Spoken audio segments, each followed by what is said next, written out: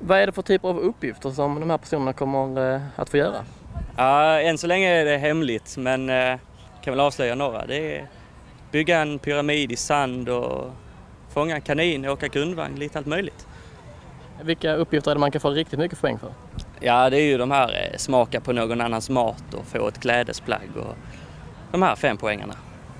Folk stannar ju och tittar på oss redan så jag hoppas att folk hakar på och gör det bästa av situationen. Eh, Varför gör ni det här? För att ge liv och rörelse till staden. Det händer för lite.